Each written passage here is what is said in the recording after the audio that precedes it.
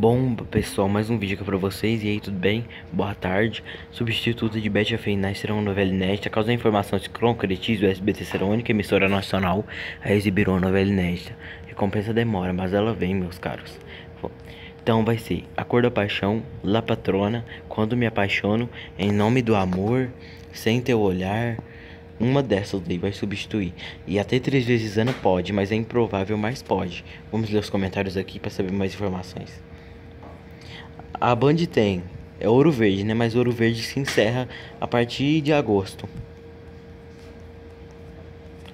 Então é isso. Vamos dar uma olhada aqui nos comentários. Qual que vocês. Não, gente. Triunfo do Amor também pode. Essa daqui é Triunfo do Amor.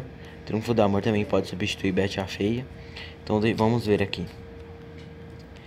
Qual vocês preferem, pessoal? É, não tem muito o que comentar. Eu, eu voto em A Cor da Paixão porque eu acho que vai ser um drama bem forte e tipo bem a novela parece ser bem bonita, né? Então, qual que vocês querem? A Cor da Paixão, Quando Me Apaixono, Sem Teu Olhar, Um Refúgio para o Amor, La Patrona, qual vocês preferem? Deixe seu voto aí nos comentários. Logo em breve sai o teaser da substituta, a partir da semana que vem deve sair o teaser da substituta. Espero que tenham gostado do vídeo. Deixe seu like aí, se inscrevam no canal e ativem o sininho. Até o próximo vídeo. Fui!